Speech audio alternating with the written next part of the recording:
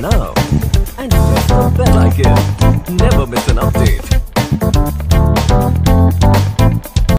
नमस्कार. मी सौ तृप्ती विकास धानमेर युनिक वचन कट्ट्यामध्ये तुमचं स्वागत आहे.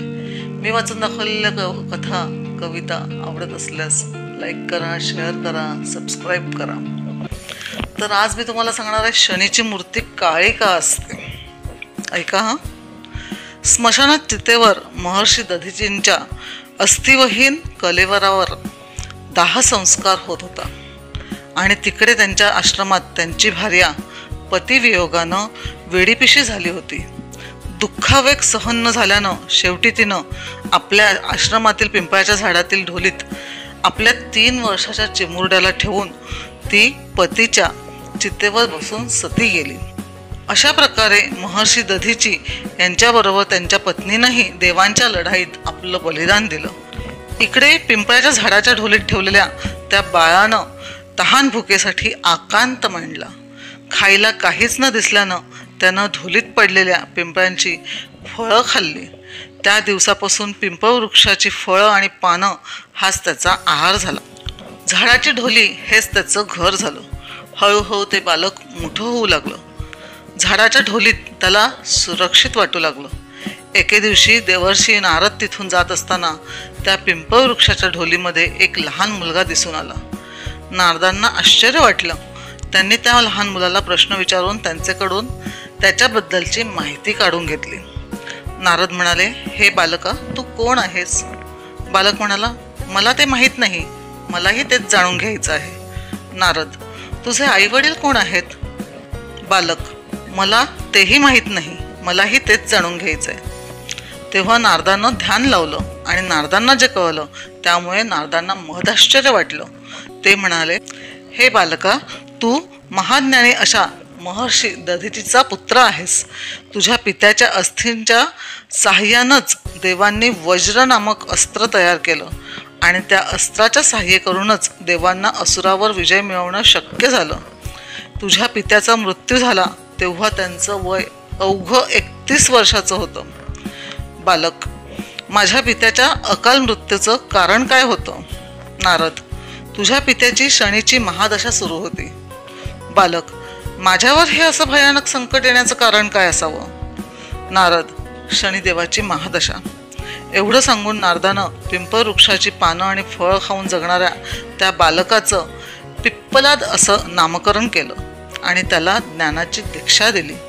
नारद निघून गेल्यानंतर बालक पिप्पलादानं नारदानं सांगितल्याप्रमाणे ब्रह्मदेवाची घोर तपश्चर्या करून त्यांना प्रसन्न करून घेतलं.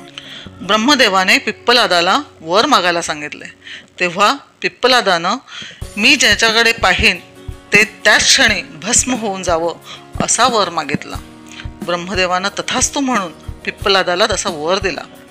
हा वर मिळाल्याबरोबर पिप्पलादानं सर्वप्रथम शनिदेवांना आव्हान केलं. त्याबरोबर शनिदेव प्रकट झाले. शनिदेव समोर येताच पिप्पलादानं आपली नजर त्यांच्यावर रोखली. त्याबरोबर शनीच्या अंगाचा प्रचंड दाह होऊन त्याचं शरीर जळू लागलं. हे पाहून समस्त ब्रह्मांड हादरलं. सूर्यपुत्र असलेल्या शनिदेवांना वाचवणं ब्रह्मदेवांनी पिप्पलादाला वर दिल्यामुळे देवांना अशक्य झालं. प्रत्यक्ष सूर्यदेवही आपल्या मुलाचं शरीर आपल्या नजरेसमोर जळताना पाहून ब्रह्मदेवाला त्याच्या प्राण्यांची भीक मागू लागले. शेवटी स्वयं ब्रह्म्याने पिप्पलादाला त्यानं शनिदेवांना सोडून द्यावं अशी विनंती केली. पण पिप्पलादानं ती विनंती धुडकावून लावली. शेवटी ब्रह्मदेवानं पिप्पलादाला एकाऐवजी दोन वर देण्याचं कबूल केलं. मग मात्र पिप्पलादाला आनंद झाला आणि त्यानं ब्रह्मदेवाची विनंती मान्य केली. पिप्पलादानं ब्रह्मदेवाला दोन वार मागितले. एक जन्मानंतर पहिली पाच वर्ष कुठल्याही बालकाच्या कुंडलीत शनीला स्थान असणार नाही. ज्यामुळे यापुढे कोणताही बालक माझ्यासारखा अनाथ होणार नाही. दोन माझ्यासारख्या अनाथाला पिंपवृक्षानं आश्रय दिला म्हणून जी व्यक्ती सूर्योदयापूर्वी पिंपळवृक्षाला जलार्पण करेल त्या व्यक्तीवर शनीच्या महादशेचा कुठलाही प्रभाव पडणार नाही. तथास्तू म्हणत ब्रह्मदेव तिथून गुप्त झाले. तेव्हा पिपलादानं आगीत जळणाऱ्या शनिदेवाच्या पायांवर आपल्या ब्रह्मदंडानं आघात करून त्यांना शापमुख केलं. ब्रह्मदंडाच्या आघातानं शनीचे पाय अधू झाले आणि त्यामुळे त्यांना पहिल्यासारखं चालता येईना. म्हणून तेव्हापासूनच शनी शनेश्चरित य शनेश्चर हा. अर्थात जो हळूहळू चालतो त्याला शनेश्वर म्हटलं जातं. आणि आगीमध्ये अंग भाजल्यानं शनीची काया काळी ठिक्कर पडली. शनीची मूर्ती काळी का आहे आणि पिंपळ वृक्षाची पूजा का केली जाते याचं रहस्य वरील कथेत दडलं आहे. पुढे पिप्पलादानं प्रश्नोपनिषदाची रचना केली. आजही हे उपनिषद ज्ञानाचं कधीही न संपणारं भांडार म्हणवलं जातं.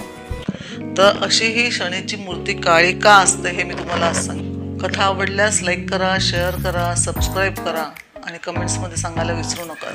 धन्यवाद.